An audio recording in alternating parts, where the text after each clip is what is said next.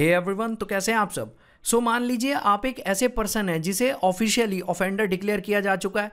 आप पुलिस से यहाँ छुपते फिर रहे हैं भागते फिर रहे हैं जिससे यहाँ पे आपका अरेस्ट ना हो पाए और पुलिस आपको अपनी कस्टडी में ना ले पाए। उसके बाद भी आप रिक्वेस्ट करते हैं ऑनरेबल कोर्ट्स से कि आपको एंटीसिपेटरी बेल यहाँ ग्रांट हो सके। सो so, क्या इस सिचुएशन में कोर्ट आपको एंटरटेन करेगा? सो so, आज का ये जो केस है वो काफ़ी इंपॉर्टेंट जजमेंट है जो इन्हीं चीज़ों के बारे में बात करता है।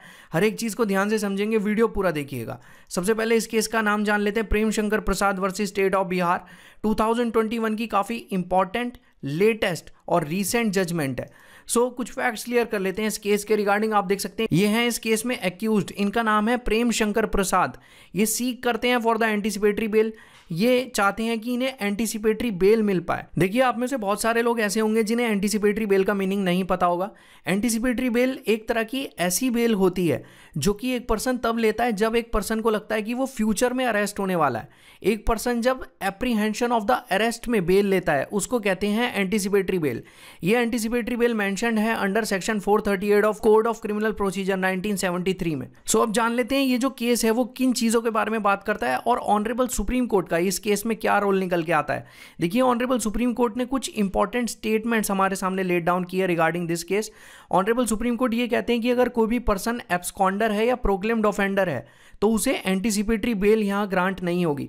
अब आप बोलेंगे एब्सकॉन्डर क्या होता है? देखिए एब्सकॉन्डर कोई भी ऐसा पर्सन हो सकता है जो कि एस्केप कर रहा हो या छुप रहा हो किसी अरेस्ट से या कस्टडी से। इसका एक एग्ज़ाम्पल से अगर मैं आपको समझाऊं तो मान लीजिए एक प्रिजनर है वो एस्केप कर रहा है जेल से एस्केप कर लेता है वो और वो छुपता फिर रहा है पुलिस से जिससे उसका यहाँ अरेस्ट ना हो पाए और जिससे उसे यहाँ दोबारा कस्टडी में ना रखा जा सके। तो उसको हम कहेंगे एब्सकॉन्डर और जो उसकी एस्केपिंग की एक्टिविटी है उसको हम कहेंगे एब्सकॉन्डिंग। सो so, यहाँ जो प्रोक्लेम्ड ऑफेंडर है प्रोक्लेम्ड का मतलब होता है किसी चीज़ को पब्लिकली या ऑफिशियली अनाउंस करना। वहीं पे ऑफेंडर का मतलब है कोई पर्सन जो ऑफेंस कर दे। तो प्रोक्लेम्ड ऑफेंडर का सिंपली मीनिंग ये होता है कि जब एक पर्सन को ऑफिशियली डिक्लेयर किया जा चुका हो कि वो पर्सन एक ऑफेंडर है, उस चीज़ को कहते हैं हम proclaimed offender honourable Supreme Court यहाँ यही कहना चाहते हैं, अगर कोई पर्सन एब्सकॉन्डर है या प्रोक्लेम्ड ऑफेंडर है तो चाहे वो फिर भी एंटीसिपेटरी बेल के लिए सीख करे उसको एंटीसिपेटरी बेल यहाँ ग्रांट नहीं की जाएगी। ये काफ़ी इंपॉर्टेंट चीज़ है इस कंटेक्स्ट में। सो so, इस केस में जो एक्यूज हैं वो अप्रोच करते हैं ऑनरेबल ट्रायल कोर्ट को। वो ये कहते हैं कि मुझे एंटीसिपेटरी बेल चाहिए बेसिकली एंटीसिपेटरी बेल के लिए। सीख करते हैं एक्यूज लेकिन honourable trial court anticipatory bail को डिनाइड कर देते हैं एक्यूज की। ऑनरेबल ट्रायल कोर्ट इस डिनाइल के पीछे कुछ रीजन स्पेसिफाई करते हैं। ऑनरेबल ट्रायल कोर्ट ये कहते हैं कि जो एक्यूज है वो एब्सकॉन्डिंग कर रहे थे। जैसा कि मैंने आपको बताया कि छुपने की कोशिश कर रहे होंगे या भाग रहे थे जिससे उनकी अरेस्ट या कस्टडी में उन्हें ना लिया जा सके। इसलिए उनकी ये जो एंटीसिपेटरी बेल की रिक्वेस्ट है, उसको डिनाई कर दिया जाता है और जो एक्यूज हैं इस केस में, उन पे प्रोसीडिंग्स चल रही थी according to section 82 and section 83 of criminal procedure code इसीलिए एंटीसिपेटरी बिल डिनाई की जाती है एक्यूज की। ये कहना था ऑनरेबल ट्रायल कोर्ट का इस कंटेक्स्ट में। देखिए, इस केस में कोड ऑफ़ क्रिमिनल प्रोसीजर के कई प्रोविज़न हमारे सामने निकल के आते हैं, जिसमें से सबसे पहला है section eighty of CrPC section eighty simply ये कहता है कि अगर किसी कोर्ट को ये लगता है कि कोई भी एक ऐसा पर्सन है, जिसके अगेंस्ट एक वारंट इशू हो रखा है और वो पर्सन एब्सकॉन्डिट है जिसके अगेंस्ट यहाँ वारंट इशू हो रखा है। जिस एब्सकॉन्डिंग की वजह से वो जो वारंट इशू हुआ है, उस पर्सन के अगेंस्ट वो वारंट एग्जीक्यूट नहीं हो पा रहा, क्योंकि एब्सकॉन्डिट कर रहा है वो पर्सन वो पर्सन तो छुपा हुआ है या कहीं एस्केप हो रखा है, जिसकी वजह से यहाँ पे जो वारंट इशू है, उसी पर्सन के अगेंस्ट वो एक्शन में नहीं आ पा रहा। तो इस सिचुएशन में कोर्ट के पास ये पावर है कि कोर्ट एक रिटर्न प्रोक्लेमेशन पब्लिश कर सकता है, उसी पर्सन के अगेंस्ट जिस पर्सन के अगेंस्ट यहाँ वारंट इशू हुआ है। देखिए रिटर्न प्रोक्लेमेशन से यहाँ मतलब है कि एक तरह की ऐसी रिटर्न अनाउंसमेंट जो कि ये स्पेसिफाई करे कि एक पर्टिकुलर पर्सन ऑफेंडर है।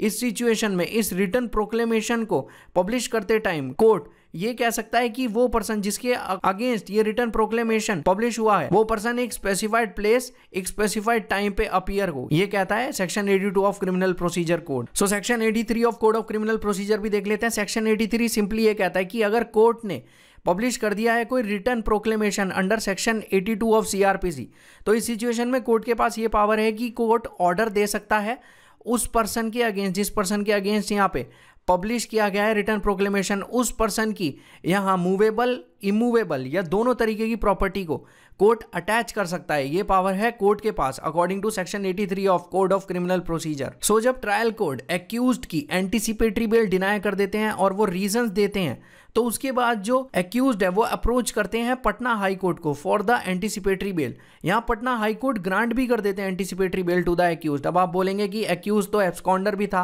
प्रोक्लेम्ड ऑफेंडर भी था तो फिर भी उन्हें ग्रांट क्यों कर दी गई हैं एंटीसिपेटरी बेल देखिए, जब इस केस को फर्दर अपील किया जाता है in the honourable Supreme Court तो ऑनरेबल सुप्रीम कोर्ट इसी एंटीसिपेटरी बेल का जो ग्रांट किया है हाई कोर्ट ऑफ़ पटना ने, उसी चीज़ के रिगार्डिंग यहाँ पे कुछ स्टेटमेंट्स हमारे सामने रखते हैं, जिसमें ऑनरेबल सुप्रीम कोर्ट ये कहते हैं कि अगर कोई भी पर्सन एब्सकॉन्डर है या प्रोक्लेम्ड ऑफेंडर है, या किसी पर्सन के अगेंस्ट सेक्शन 82 और सेक्शन 83 ऑफ़ सीआरपीसी के अकॉर्डिंग प्रोसीडिंग चलाई जा रही है तो उस पर्सन को एंटीसिपेटरी बेल ग्रांट नहीं होगी। वो पर्सन यहाँ एंटाइटल नहीं होगा एंटीसिपेटरी बेल लेने के लिए।